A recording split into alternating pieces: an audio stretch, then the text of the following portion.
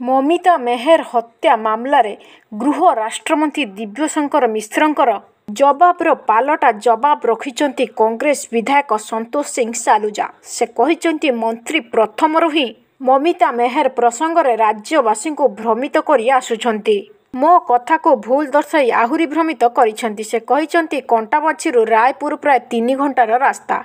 ସେଠାକୁ ଯାଇ ରହି କି ଆସିହେବ। ମୋ ଅଭିଯୋଗ ଅନୁଯାୟୀ ମନ୍ତ୍ରୀ ସେହି ଚାରି ଦିନ ଭିତରେ ରାୟପୁର ଯାଇଛନ୍ତି କି ନାହିଁ କହିଲେ ନାହିଁ। ଯଦି ମନ୍ତ୍ରୀ ନିଜକୁ ସ୍ୱଚ୍ଛ ବୋଲି କହୁଛନ୍ତି ତେବେ ନିଜ ମୋବାଇଲକୁ ପୁଲିସ ପାଖେ ସରେଣ୍ଡର କରାନ୍ତୁ ବୋଲି ସାଲୁଜା କହିଛନ୍ତି। ଆଉ ଏଥିସହ ମନ୍ତ୍ରୀଙ୍କ ମୋବାଇଲ କଲ୍ ରେକର୍ଡ ସହ ଗୋବିନ୍ଦ ସାହୁ ପାଖରୁ ମିଳିଥିବା ତିନୋଟି ମୋବାଇଲ ଓ ମମିତା ମୋବାଇଲର କଲ୍ ରେକର୍ଡ ମେଳ କରାଗଲେ କରାଗଲେ ସବୁ ସତ ବାହାରିବ ବୋଲି ସେ ଦାବି କରିଛନ୍ତି। କାହିଁକି ନା ଗତକାଲି ରାୟପୁରର ରାଜ୍ ଖୋଲିଥିଲେ ସାଲୁଜା। ମନ୍ତ୍ରୀ ଦିବ୍ୟଶଙ୍କର ମିଶ୍ରଙ୍କର ରାୟପୁର ଘରେ ଘଟିଥିଲା କ'ଣ, ଏହାର ଗୁମର ଖୋଲିଥିଲେ କଂଗ୍ରେସ ବିଧାୟକ ସନ୍ତୋଷ ସିଂ ସାଲୁଜା। ସେ କହିଥିଲେ କି ସେପ୍ଟେମ୍ବର କୋଡ଼ିଏରେ ମମିତା ବସ୍ ଯୋଗେ ଘରୁ ବାହାରିଥିଲା ଓ ମହାଲିଙ୍ଗରୁ ଅଭିଯୁକ୍ତ ଗୋବିନ୍ଦ ଓ ମମିତାଙ୍କୁ ରାୟପୁର ନେଇଯାଇଥିଲା। କୋଡ଼ିଏରୁ ତେଇଶ ସେପ୍ଟେମ୍ବର ପର୍ଯ୍ୟନ୍ତ ରାୟପୁରରେ ମନ୍ତ୍ରୀ ଦିବ୍ୟଶଙ୍କର ଅଭିଯୁକ୍ତ ଗୋବିନ୍ଦ ଓ ଶିକ୍ଷୟିତ୍ରୀ ମମିତା ରହିଥିଲେ ବୋଲି ସେ ଅଭିଯୋଗ କରିଥିଲା। ସେଠାରେ ବୁଝାମଣା କରିବାକୁ ଚେଷ୍ଟା କରିଥିଲେ ମନ୍ତ୍ରୀ।